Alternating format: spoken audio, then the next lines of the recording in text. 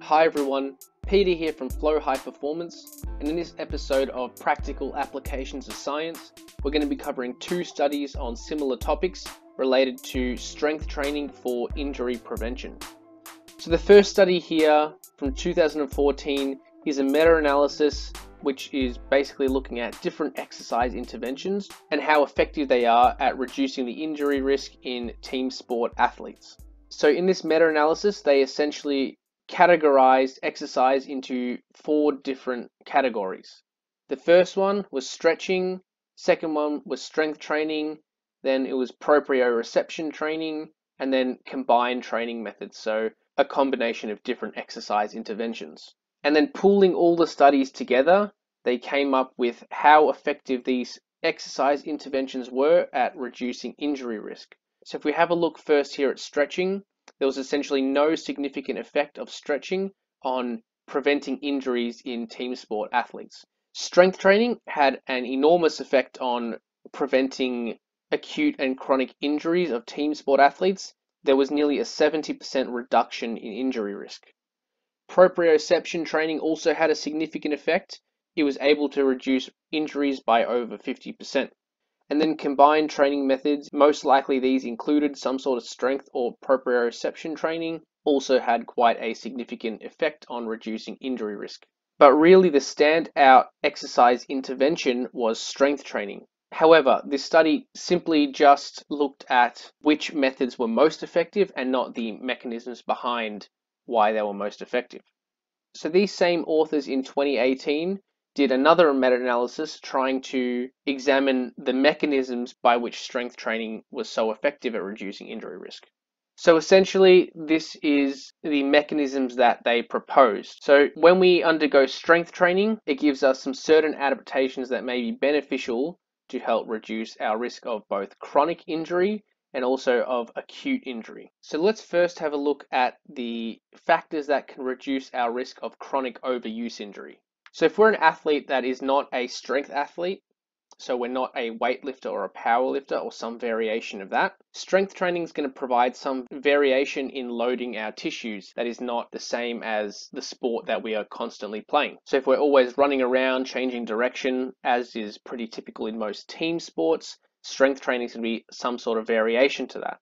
So, from a chronic perspective, that's going to help our tissues adapt differently over time and not always be stressed in the same motor patterns and in the same way every time. This over time is likely to help us reduce our risk of chronic overuse injury. Another factor is gradual tissue conditioning. So, from strength training, we have muscular adaptations and we also have adaptations to the connective tissue.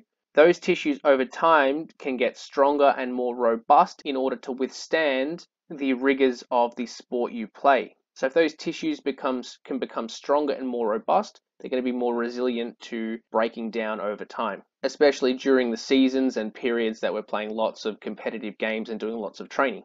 The other factor that can help reduce both chronic injury and also acute injury is the carryover of strength training to improved coordination and technique. So for example, if our strength training is involving full body movement patterns, those motor patterns may have transfer over to things like running, cutting, changing direction, etc. So if we can be more efficient with our technique, we can both reduce the risk of chronic injury because we're moving more efficiently and therefore loading the tissues that need to be loaded and reducing the stress on the tissues that are likely to break down. Furthermore, if we're cutting properly, changing direction, running properly, our risk of inducing some sort of acute traumatic injury is going to be substantially reduced. Again, for the same reason that with high output movements like sprinting, changing direction, we want to be loading the tissues that need to be loaded and taking the stress off the tissues that shouldn't be stressed during those movements. And strength training can help with that coordination and technique and those motor patterns to help ingrain them better so that we can move more efficiently on the field of play. So then moving here into the factors that are specifically only going to reduce the risk of acute injury, meaning an injury that happens in a split second and it's a one-off thing, it's not something that develops over time. So for example, a hamstring tear or an ACL rupture. So strength training can increase the failure thresholds of relevant tissues.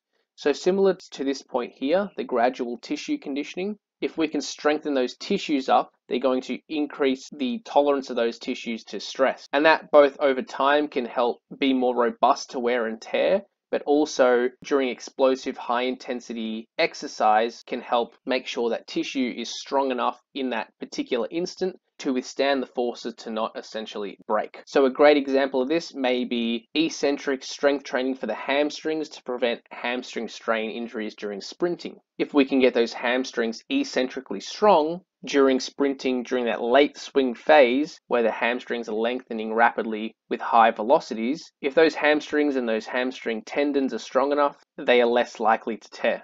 And the last point is psychological preparedness. So essentially, if an athlete feels as though they've been doing strength training, they feel strong, and they're confident in their movement, they are probably less likely to induce a acute traumatic injury. So this point here is a whole can of worms in itself, but essentially the psychological component can never be underestimated of any sort of training and in particular strength training. Thanks for watching and hopefully you got something out of this video. Remember to subscribe if you haven't already.